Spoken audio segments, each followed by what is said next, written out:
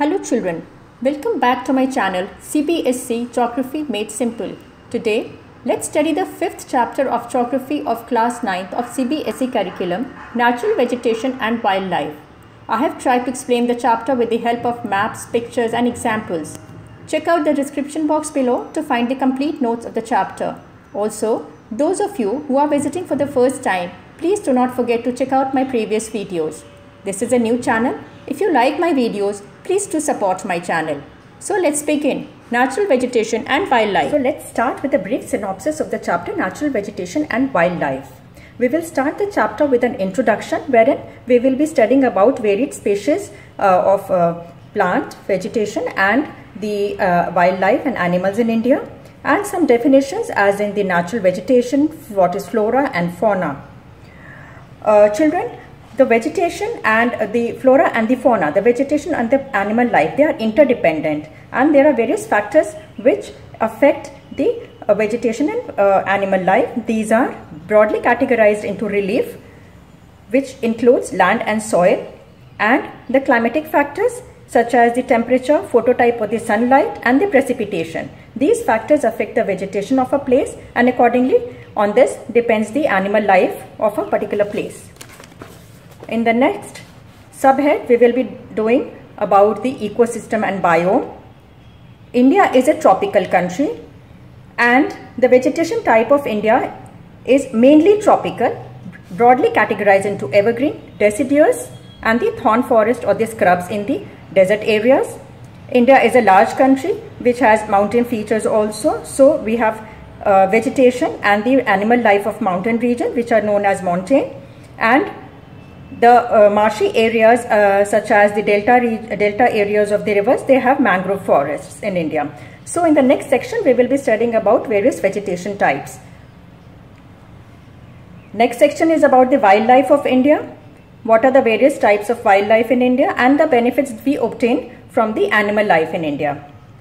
Last but not the least, we will also be studying about the threat and the conservation methods for the flora and fauna. So let's begin. Children, India is a vast country with huge diversity in terms of the climatic conditions and the landforms. However, the diversity doesn't just end here. On the landforms and climatic conditions and various other factors depend the animal life and the plant life also. So, India can boast to be one of the 12 mega biodiversity countries of the world. In India, there are about 47,000 plant species and with this, India occupies 10th place in the world and 4th in Asia in terms of the plant diversity. As regards the flowering plants, we can we proudly say that India has 15,000 varieties of flowering plants in India uh, in the world which accounts for 6% of the total world's share. Also, there are many non-flowering plants also in India like ferns, algae, uh, fungi, etc. Besides, as regards the animal species, India has approximately 90,000 species of animals as well as rich variety of fish in its fresh and marine waters. Children, I am taking help of my notes to teach you. You have an access to the notes through the description in the description box below. Now the definition of some commonly used terms. Natural vegetation or virgin vegetation refers to plant community or group of plants which grow naturally without any human intervention. Thus, any kind of cultivated crop, orchards, fruits, etc. form part of vegetation but not natural vegetation. For example, in India, natural vegetation is found in Himalayas, hilly regions of central India and Marusthali or desert areas. The term flora is used to refer to plants of a particular region or period. The term fauna denotes animals of a particular region, habitat or geological period. In this clip, we will be studying how the two major factors, relief or landscape of a place and the climate of a place impact the flora and fauna of that place and causing or resulting into huge diversity. Under the section relief, we will be studying about the impact of the nature of the land. Children, we cannot expect the same kind of vegetation in mountain region or plateau region and plains or the desert areas because the desert areas we see stunted growth of the vegetation, mostly uh, plants like uh, cacti, etc. Whereas mountain areas have different kind of vegetation and plains also have a altogether different kind, kind of vegetation. The most varied vegetation type is found in the mountain region as we move uh, from lower altitude to the higher altitude. Also, the fertile landmass is usually left for the or earmarked for the agricultural purposes, whereas the undulating and the rough terrain where grasslands are grown and is left for the uh, for the grazing of the uh, earmarked for the grazing of the animals. As regards the soil, the chemical and physical feature of soil varies from place to place. Sandy soil, for example, sandy soil is very coarse and it is not able to hold moisture. Similarly, mountain soil is also quite shallow, whereas the floodplains, they receive a fresh deposit of alluvium every year which makes it fertile and good for agricultural purposes. The delta soil is usually very marshy and holds a lot of moisture. So definitely, according to the chemical and physical differences in the features of the soil across varied landforms and land masses, the vegetation will differ. Second broad category is the climate on which the flora and fauna of a place depends. One important factor of climate is temperature. The temperature from varies from place to place. The mountain areas will have, uh, as we go up, the temperature decreases. As we go interior from the uh, coastal areas, again there is a change in the temperature. So as the temperature changes, the vegetation changes. The most uh, visible or the evident uh, example of uh, impact of temperature on the vegetation is as we uh, uh, visit a mountain area and we drive through the mountain areas and the valleys. As we go up, we see that the type of vegetation at the foothill region is mostly tropical kind with broad-leaved broad-leaved uh, vegetation. As we go up, the temperature also changes and it becomes cooler and the, accordingly the vegetation will change. As we reach the mountain top, generally if it is above the snow, snow line then it is a frozen area and tundra vegetation and alpine vegetation is mostly found. Second factor is the photoperiod or the sunlight. The sunlight of a place depends on a number of factors. For example, latitude. We know that tropical countries receive a good amount of sunlight altitude again the, the sunlight differs from um, re, uh, received by a place is different if it is in a mountain region and a place on a mount on a plain region will be receiving a different amount of sunlight seasonal variations are also quite evident summer season we have intense heat and sunlight compared to the winter season and duration of day of course morning and evening we have milder sunlight compared to the uh, afternoon or noon time when the sun is overhead so brighter the sunlight or more the sunlight, the tree growth is faster. That is why we see that areas receiving plenty of sunlight, moisture, humidity, good quality soil, their tree or vegetation growth is faster. Next important factor is the precipitation or the rainfall. India falls under the monsoon climatic conditions wherein uh, the country receives rainfall from the southwestern monsoons and some parts of India also receive the north uh, rainfall from the northeast monsoons. Higher the rainfall, again, the vegetation will be thicker.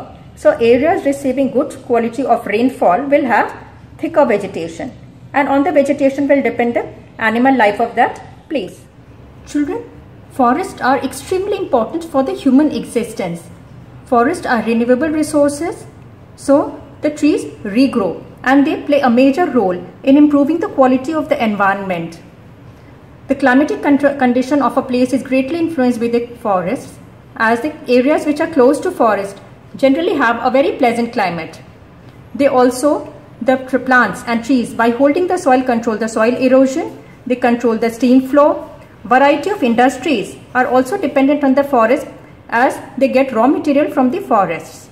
Also, the tribal community and many other community which lives close to forest areas, they depend for their livelihood on the forest resources only.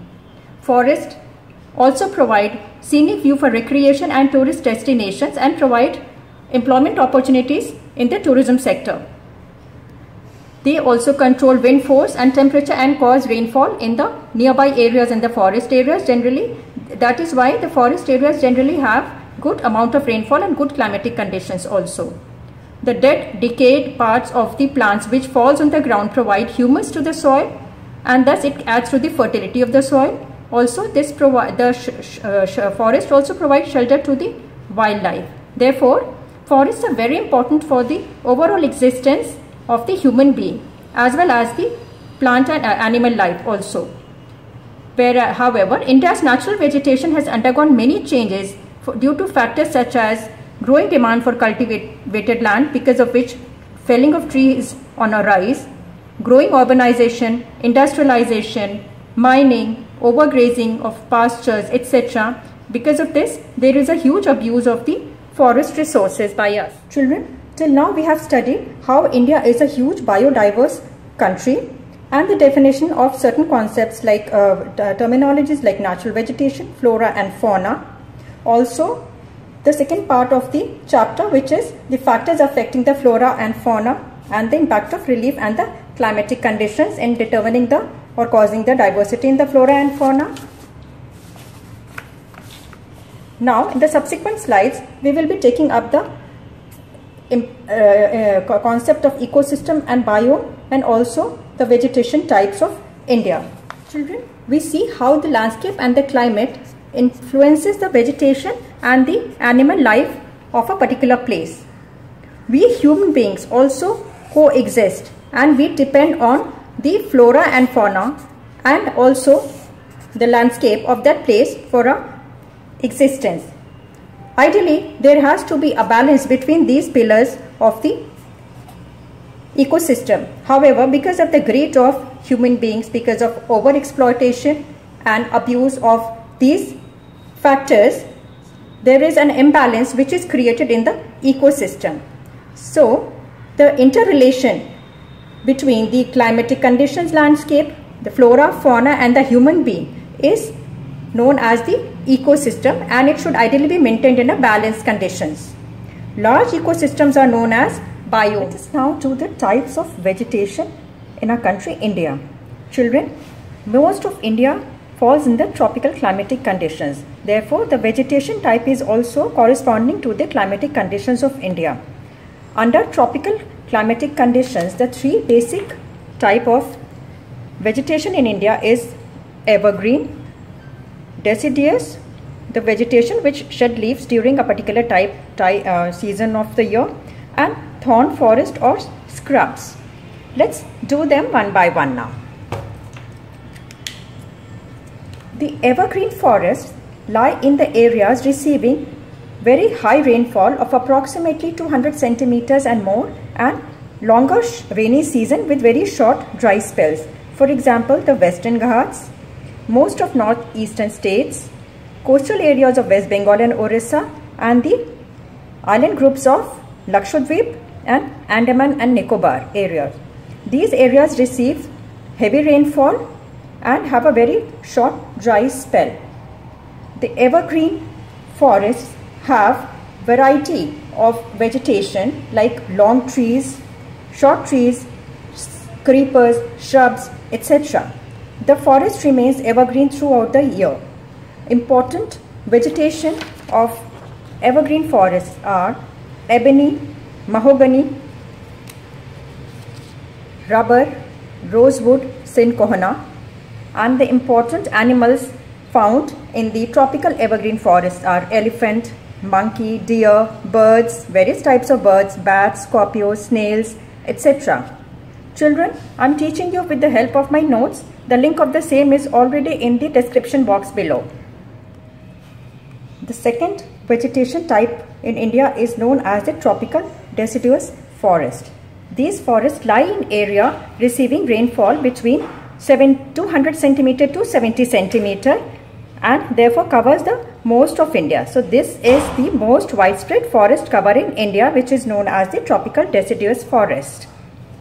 An important feature of this kind of forest is that they are the most widespread forest in India and they are deciduous as in the trees shed their leaves for about 6 to 8 weeks duration in the dry season, summer season.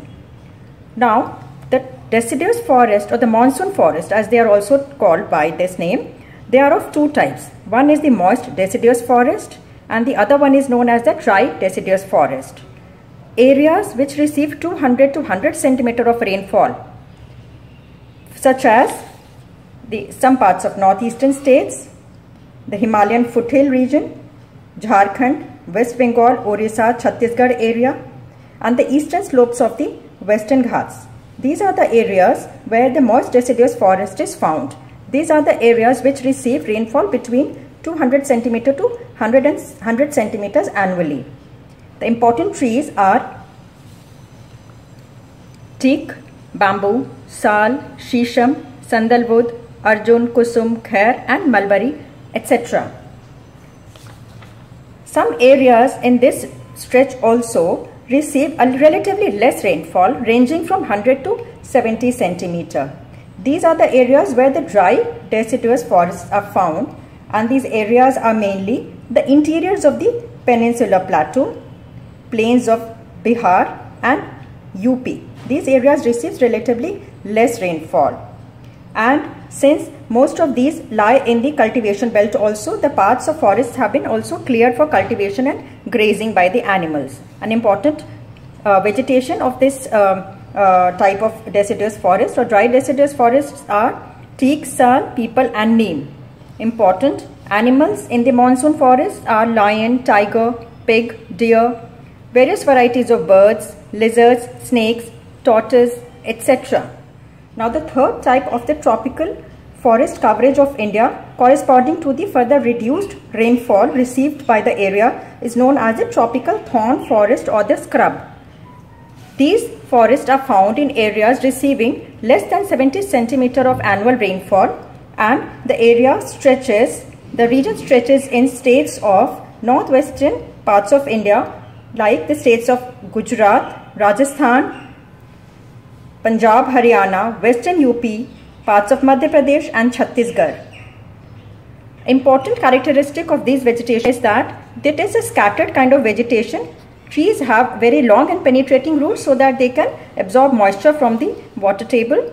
The stems are succulent and leaves are very thick so that the evaporation could be minimized. The forests then give way to thorn forests and shrubs in arid areas, extreme arid areas. Important plants are acacia, palm and cacti. The animals are rats, mice, rabbits, fox, wolf, tiger, lion, wild ass, camel and horses. The next vegetation type is the montane forest which is found in the mountainous areas of India namely the Himalayas which occupy the northern part of India.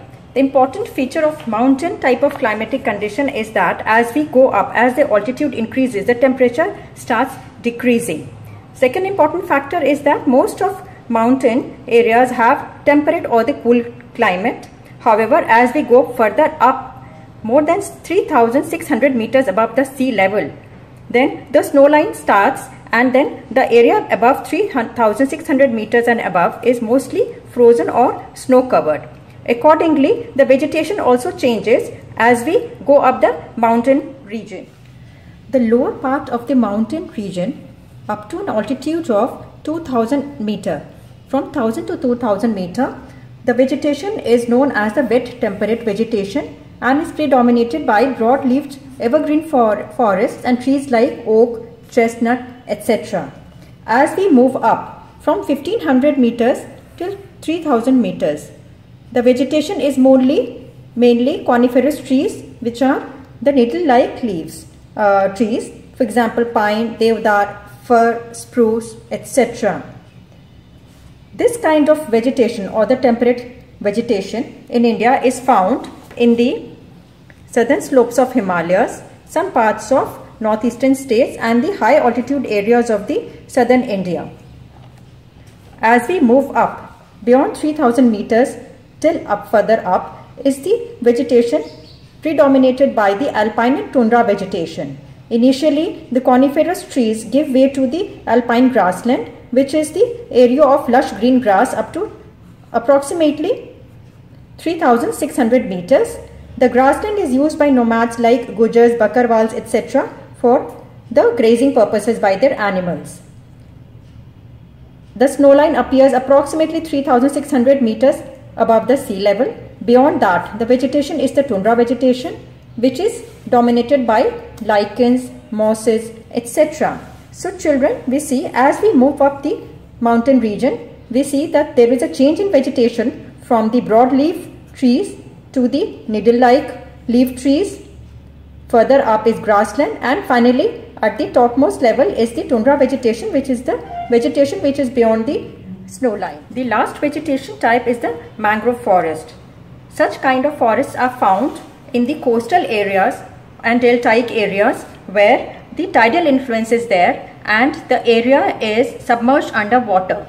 So this kind of vegetation can be found in the deltas of Ganga, Mahanadi, Godavari, Krishna, etc. The characteristic features of this kind of vegetation is the roots of the plants are submerged under water. Some important trees are, for example, Sundari trees of Sundarbans, coconut, kevda, agar, palm, etc. The animals are Royal Bengal tiger, turtles, crocodile, gharials, snakes. These are the animals which are found in the marshy areas or the delta areas. In the subsequent clips, now let us take up the wildlife or the fauna, how the, what are the various types uh, of uh, uh, wildlife in India and how they enrich our life and then the threat and the conservation me measures in respect of the flora and fauna of the country. Like flora, India is rich in its fauna as well. There are about 90,000 species of animals and 2,000 species of bird in India which accounts for 13% of the total world's share. As regards fish, we can boast of 2,546 species of fish in India which is accounting for 12% of the total world's stock. The reptiles and mammals account for 5% to 8% of the total world's share. Now, let us check out some important animals and their habitat in, in India. India. Elephants are found in the hot wet forests of Assam, Kerala and Karnataka. One-horned rhinoceros, they are found in the marshy land of Assam and West Bengal. Wild ass and camel, they are found in the arid areas of Rann of Kutch and Thar Desert. India is the only country where both lion and tigers are found. Tigers are found in the forests of Madhya Pradesh, Sundarbans of West Bengal and Himalayan region. Lions are found in the Gir forests of Gujarat. Turtles, crocodiles and gharials. They are found in the rivers, lakes and the coastal areas and the marshy areas of India. Tibetan antelope, wild sheep, kyang, yak, shaggy one-horned wild ox. These are the animals. They are found in the freezing Ladakh. Besides, India is also home to various other animals like nilgai, chausinga, gazelle, various species of deers and monkeys. Bird life of India is equally colorful. We have birds like peacocks, ducks, parakeet, cranes, pigeons, etc. inhabiting the forests and the wetland of Children. India. Animals enrich our life in many ways. They serve us. Many of them are domesticated animals, some of them are milch animals.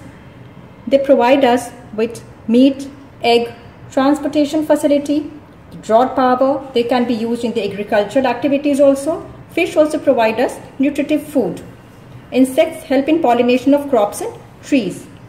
Each species plays a very important role in the ecosystem and maintains the balance and contributing in maintaining the balance of the ecosystem. Thus, the conservation is very important. However, whereas we, because of our excessive need and greed. There is an exploitation of plant and animal by human being which has resulted in damaging the ecosystem. About 1300 plant species are endangered and 20 species are extinct. The main cause of this major threat is hunting, pollution, acid deposits, reckless felling of trees, etc. Thus, there is an imbalance, major imbalance which is created in the ecosystem. However, government has taken various steps to maintain the flora and fauna of the country. Some important steps taken by the government are biosphere reserves have been earmarked. There are altogether 14 biosphere reserves in the country. Out of these, four following four have been included in the World Network of Biosphere Reserves. These are the Sundarbans in West Bengal, Nanda Devi of Uttarakhand, Gulf of Mannar in Tamil Nadu, and Nilgiris in Kerala, Karnataka and Tamil Nadu.